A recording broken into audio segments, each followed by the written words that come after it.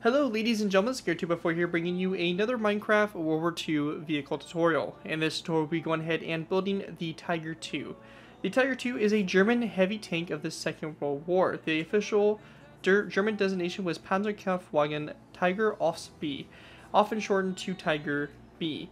The Ordnance Inventory designation was SDKFZ 8182 and is often known under the informal name Kronx Tiger, or, or uh, I think that's right, Kronx Tiger uh, something like that, uh, but basically the German name for a Bengal tiger. It was often tr uh, translated literally as Royal Tiger or somewhat incorrectly as the King Tiger by Allied soldiers, especially by American forces. The Tiger II was the successor to the Tiger I, combining the later's thick armor with an armor sloping used on the Panther medium tank. The tank weighed almost 70 tons and was protected by 100 to 185 millimeters of armor to the front. It was armed with a long-barreled 8.8cm KWK-43 L-71 anti-tank cannon, and the chassis was also the basis of the Jagdtiger turretless tank destroyer. The Tiger II was issued to heavy tank battalions of the Army and the Waffen-SS. In the first, uh, it was first used in combat by the 503rd uh, uh, Heavy uh, Panzer Battalion during the Allied invasion of Normandy on July 11, 1944. On the Eastern Front, the first unit to be outfitted with the Tiger II was the 501st uh, Heavy Tank uh, Panzer Division, or Battalion, sorry, which was uh, September 1st, 1944, listed uh, 25 Tiger IIs operational. Uh, so anyways, the uh, tank itself is obviously a really cool tank. Um, definitely a huge improvement over the previous Tiger 1, kind of got rid of the weak spots and stuff with the front kind of, you know, squared away or, you know, just like straight armor in the front, which uh, was a very big weak spot for the Tiger. Uh, but the tank kind of replaced that and kind of took on that more kind of traditional uh, tank role of having that kind of sloped armor and having a longer barreled, uh, more powerful, uh, you know, anti-tank gun and stuff like that. Even though it was still the same uh, millimeter size, it was definitely stronger with having a longer barrel and all that stuff. Um, so yeah, pretty uh, excited to get a new King Tiger out there. It's been a while since we've uh, done one, and I actually did have one out a while ago, but uh, you know I never really, uh, never really, never really, uh, you, you, know, went back and redid it. And it's something that definitely needs to be redone. A lot of you guys have asked for a nice redesign. So technically, I'm going to consider this my 19,000 subscriber special, as it's been highly requested for such a long time to redo the Tiger, and um, I, you know, want to keep on some kind of tradition of trying to keep a uh, kind of a special build coming out for you guys or something that's highly requested uh, for each subscriber milestone.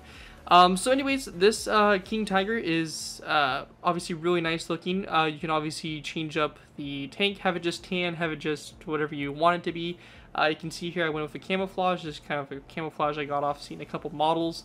And um, I thought it looked pretty cool and it definitely added a new kind of uh, it added a whole new kind of, uh, I guess, look to the tank is what I'm saying, instead of just doing it in kind of a standard kind of tan camouflage or uh, tan paint scheme. So uh, obviously going ahead and taking a look at the build, we have obviously the main gun here very, uh, you know, long uh, compared to the standard 8.8 uh, millimeter on the Tiger 1.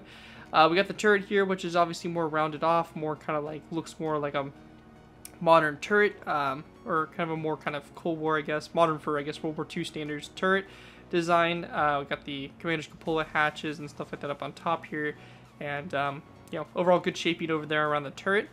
Uh, coming back to the back here, you got obviously the vents, all that kind of stuff, kind of a little bit mimics the Tiger 1 in the back here, um, exhausts and all that pretty much stuff back here.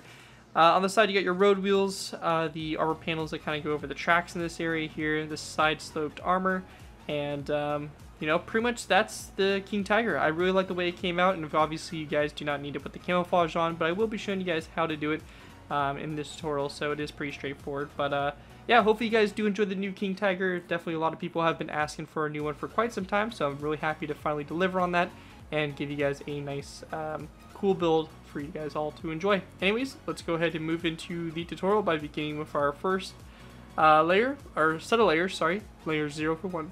Alright guys, so going ahead and moving into our first uh, layers, we're working on layers 0 through 1. Now, as I mentioned in the beginning of the video, or, you know, in the introduction bit, I will be doing this thing uh, basically in a straight camouflage. Alright guys, uh, so going ahead and moving into our first layer, we'll be beginning with layers 0 through 1. Now, uh, I kind of mentioned in the beginning of the video that, uh, you know, you guys can obviously do whatever paint scheme or whatever you guys want to do for it. That's completely cool. You don't have to do the camouflage, but we will be building this thing all tan to start off with, and then I'll be going back and adding the camouflage. It's just a little bit easier, and, uh, you know, those that want to keep it a tan tank can do that. Those that want to do a different camouflage can obviously do that and, you know, just go crazy with it and, you know, have fun. Um, but uh, yeah, we're gonna, just going to be building a standard tan, so if you're wondering why I'm, you know, not putting the color blocks in, just worry, don't worry about it. We'll be coming to that um, at the end of the tutorial. Anyways, to go ahead and get started here, we're going to place down a row of two here of nether brick slabs. We're going to place down one and two nether brick slabs across like this. This is going to be the start here of the right front tracks. Coming off these nether brick top or slabs toward the front, we're going to place down two top slabs. Going back from these, we're going to place down two uh, smooth sandstone blocks, followed by a stone bun on the side, item frame, and a smooth sandstone block in the item frame. Going ahead, continuing back, we're going to place down a nether brick block in the ground, a sandstone, smooth sandstone block right here, and then a skeleton, wither skeleton skull like that. We're going to go and repeat this pattern a few more times. I believe we're going to go and actually do it three more times.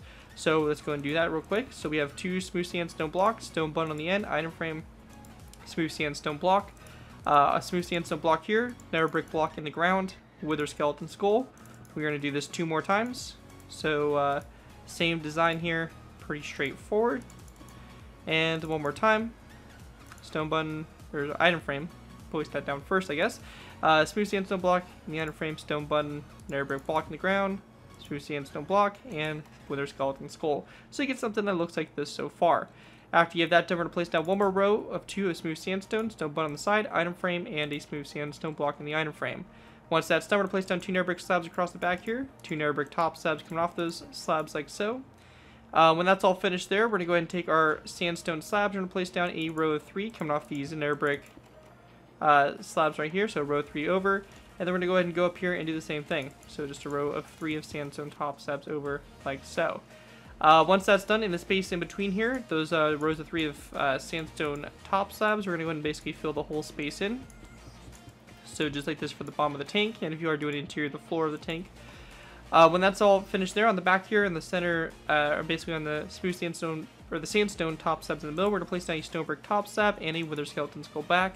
Again, this is only on the back rear section of the tank here, so make sure that you are at the rear of the tank when you put that on.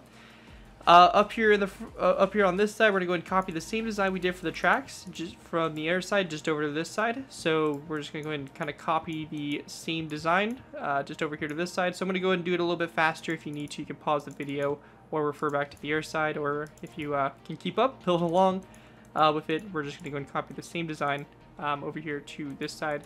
So pretty straightforward stuff. Item frames, of course, are smooth sandstone blocks in our item frames and like this all the way down and uh, try not to break your item frames like I did. And stone buttons over the smooth sandstone blocks and just like that you have your road wheels done.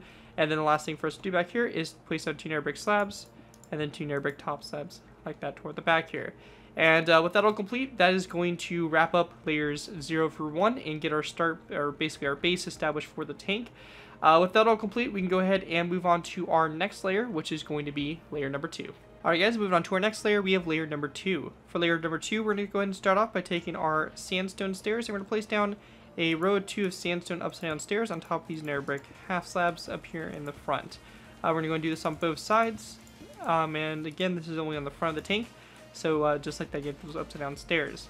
Now, around the backs of the stairs and also the sides, we're going to go ahead and want to place down some signs, and we're only going to place down a wooden sign on the side of the stair on the outside the tank like that, because in the inside here we will have the kind of front, uh, you know, basically sloped armor for the tank going in there. So we're going to leave that um, open right there in the middle, so you get something that looks like this on both sides there.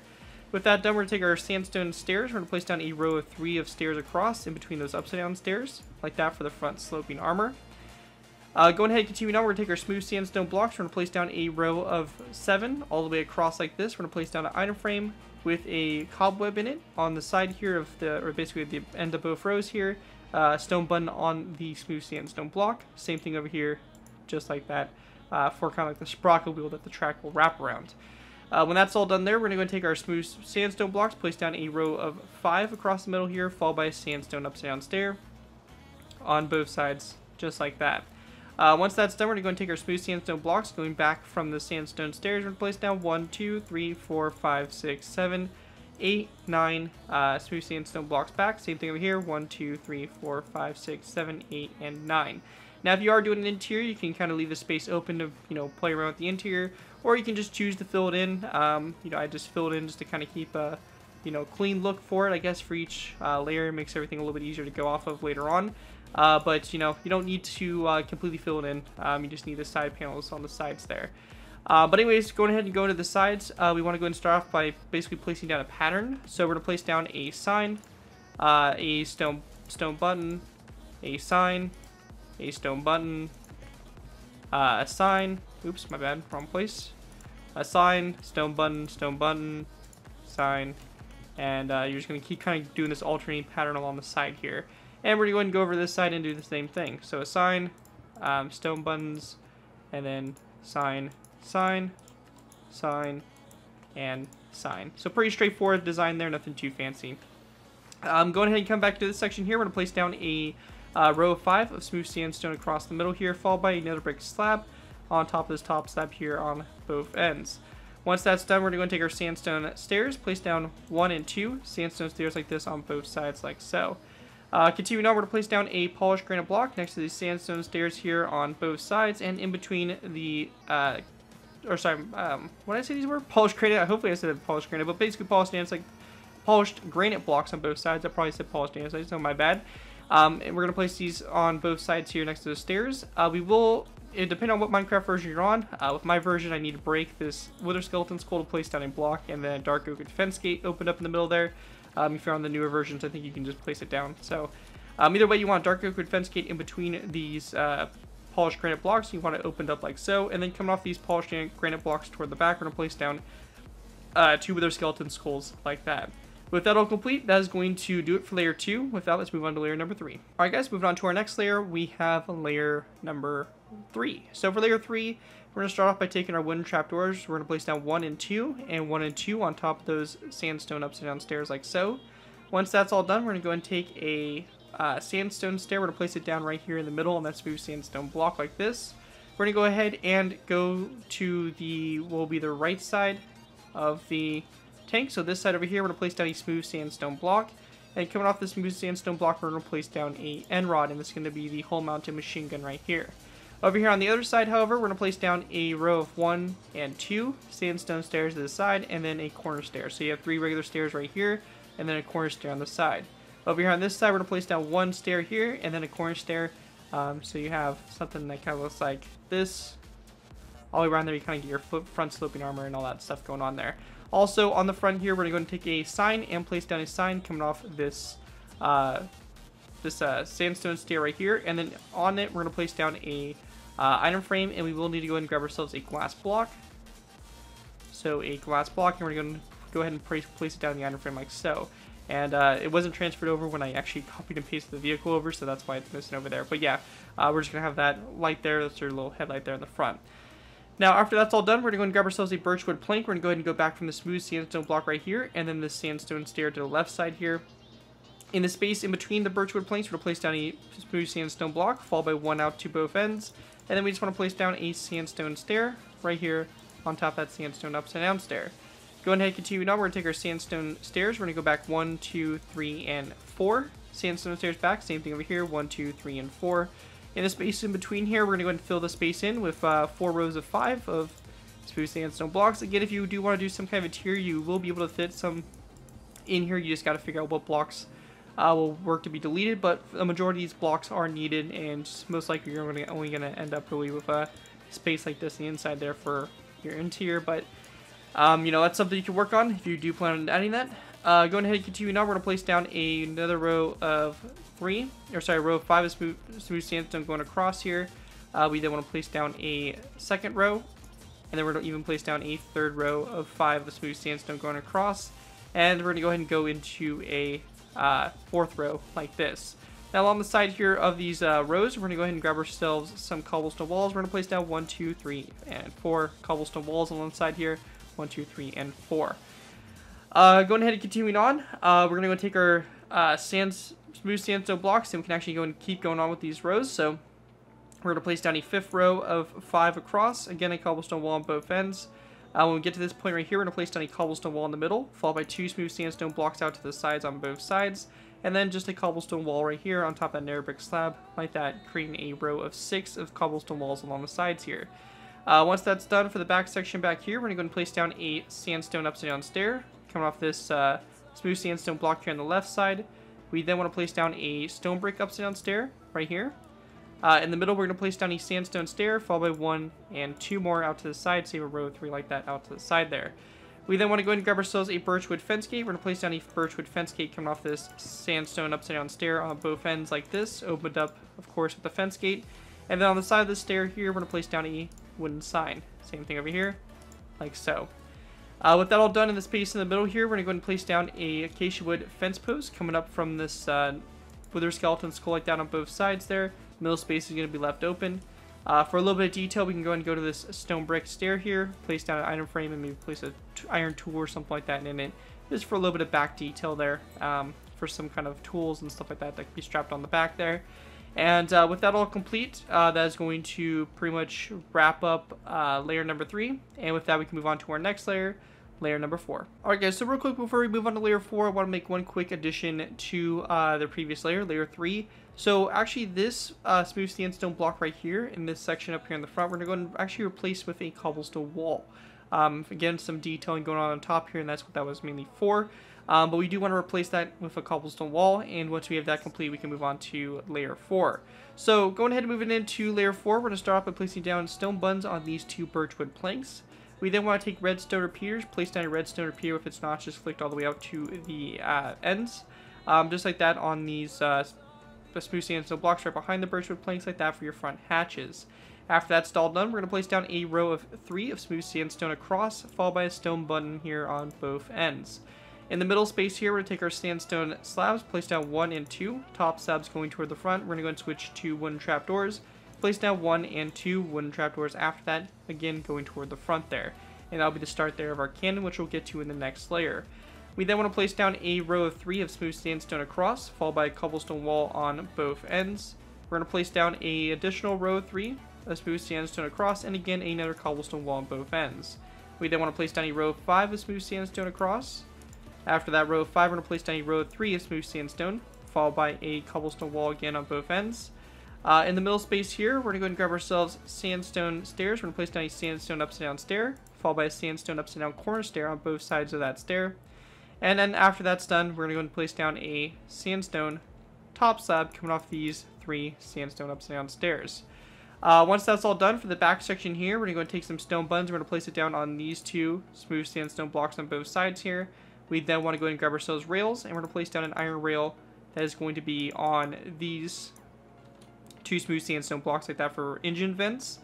Uh, over here to the uh, side over here, we're going to place down a sandstone slab. On the other side, we're going to place down a uh, daylight sensor. So it's going to be a little bit different there on both sides, so just make sure you take a look at that, make sure you have it right.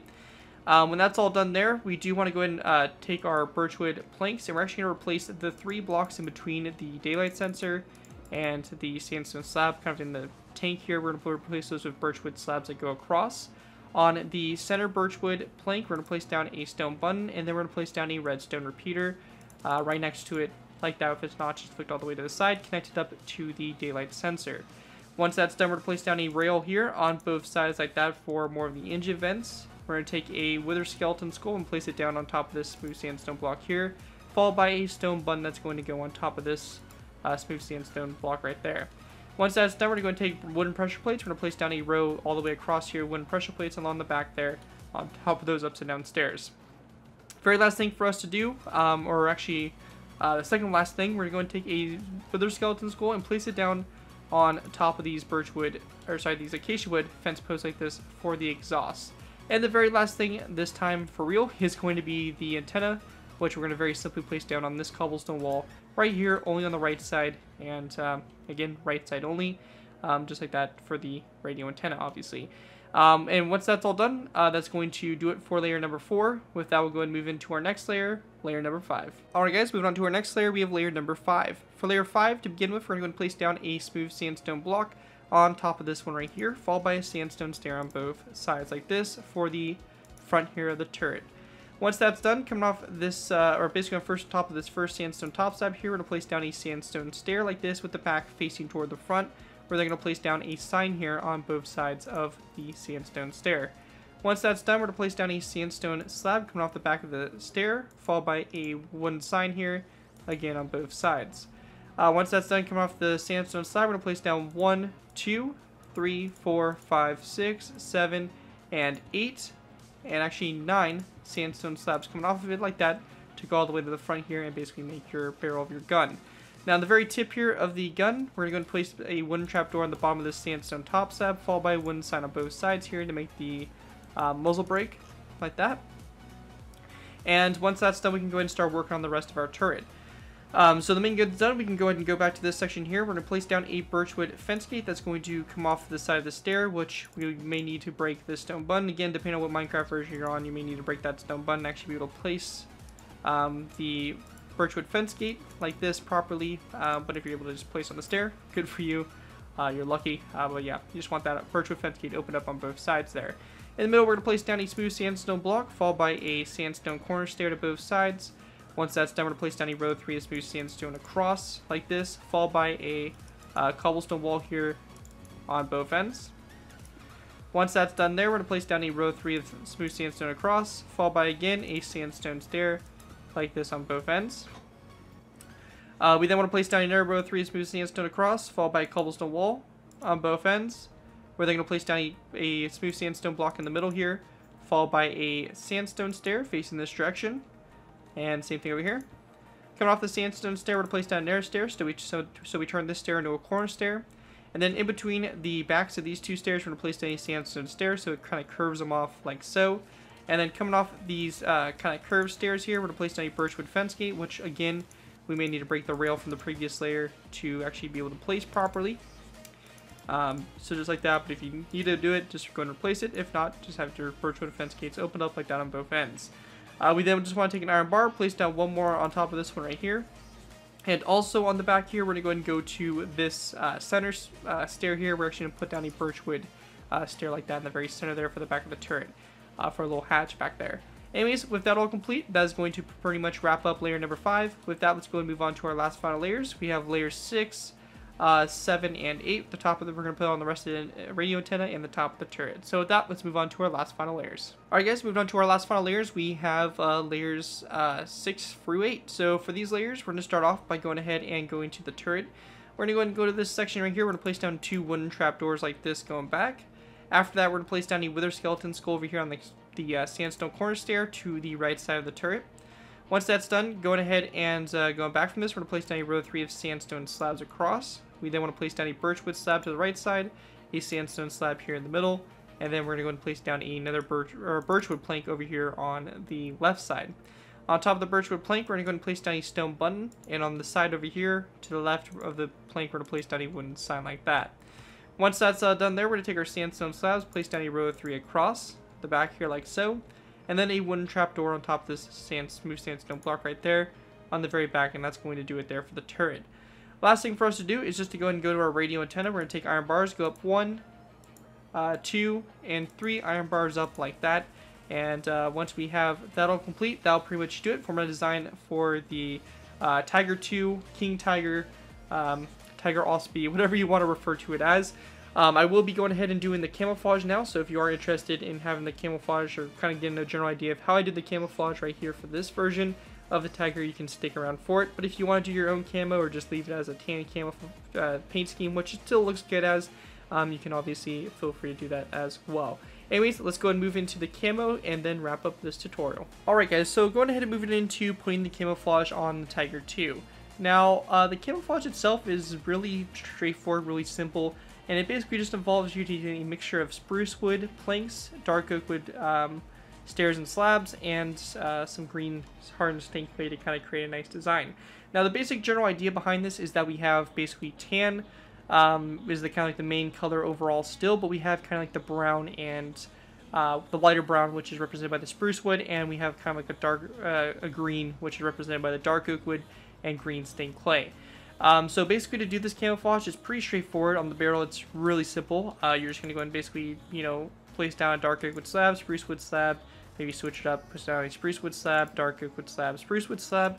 Kind of do whatever you guys want. Again, I'm not going to be representing the camo exactly like this one over here, as that's kind of the beauty with this camouflage is you can do different uh, patterns and stuff like that, or different, uh, you know, placement of blocks, and you kind of get yourself in your own kind of different looking tiger, and you can have multiple of these in a battlefield, and they all kind of look a little bit different from each other. Um, but very straightforward, you know, you're just going to go and basically replace the stair, you know, kind of maybe take it up as the angle um, on the side here, and you can have it kind of flow down over here onto this end over here, and have a stripe come down. Again, uh, one of the main things to take uh, note of is when you place down a block and you have to break a, you know, smooth sandstone block out to replace it, make sure you place back a sign or anything like that if it did have it on it, very important. Uh, we can just go ahead and just kind of, you know, have like a little bit of a stripe here. And maybe to complement it, we can have the spruce wood um, kind of run alongside it here. And we have this upside down stair we can go and replace as well for the fender. And, you know, pretty straightforward there. We just replace it, put the sign back, that goes down. And then right here we can have our dark oak with top sap on the bottom there. Now one of the things with the camouflage I saw that it didn't affect the road wheels at all. So you um, can either choose to, you know, mess with the road wheels and do something different or you don't really have to. It just kind of depends on what you want to do there. But uh, from pictures I saw with the camouflage, I kind of used to model this off of. It didn't really change the road wheels um, at all. Uh, but we can do another uh, kind of line here of spruce wood going along this side here. Um, can have it kind of wrap up here, go into a bit of the turret. Uh, kind of maybe get into the cannon breech or the breech of the gun right here, or the um, kind of like with a connecting piece to the uh, turret, whatever you want to call it. I guess the mantle, um, or mantlet, whatever the hell it's called. Uh, we're to place down a spruce wood plank here, spruce wood slab down, and then just kind of continue the stripes. So the stripes kind of flow across the, the vehicle, as you can see, um, kind of a little bit of an angle there. Um, and we can go and just do one more to kind of show you guys what we're doing here. Um, and then you guys kind of get a general idea what we're doing, you guys can go crazy and do your own kind of camouflage. Um, but yeah, you can do this. Um, also, make sure that when you do the cobblestone walls, if you're doing a green, you can also go ahead and throw in some mossy cobblestone walls, which are uh, never a bad way to go. So they kind of, you know, get, adds a little bit more green and keeps that camouflage a little bit consistent. You can replace the fence gates as well uh, with maybe the color of wood corresponding to where they are. So you can do some dark oak wood fence gates there instead. Um, we'll have this kind of flow down here. Maybe replace this one as well. And then this kind of comes down like so and then falls kind of suit onto the back here or onto the side here. So you know you guys kind of get the general idea of what we're going for here. Um, you can kind of see what we're doing with striping here. And obviously you know you want to make sure that you don't leave huge blotches of uh, tannin. It's not going to look right.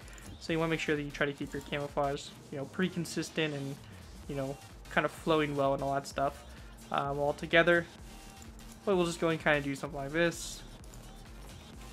And, you know, you guys kind of get a general idea of what we're going for here. And uh, you can look back at this one for some more inspiration. Uh, but yeah, it's pretty straightforward. The camouflage is going to go and take this, kind of wrap the whole tank uh, with the slowly kind of cascading lines that go all the way across it. Um, stripe design in. It definitely adds a nice uh, look to the Tiger for sure um, and kind of gives it more of a you know realistic sense and you know a camouflage type pattern. But again, you can just do it in tan because you know it still looks good in tan. But anyways, feel free to do what you want with it. I'll leave it up to you guys now. Um, anyways, that's going to wrap up the, the tutorial for the Tiger 2 or the King Tiger. Um, really awesome tank. Really happy to come back and finally redo this build and hope you guys can all enjoy the nice new version of this tank as it was uh, definitely a much needed redesign. Other than that, thank you guys uh, all for 19,000 subscribers, as we are pretty much less than 20 subs away now from uh, 20,000. But uh, thank you guys as always. I really do appreciate it. Um, you know, fantastic the support we've been getting with the channel and uh, how far we've come for sure.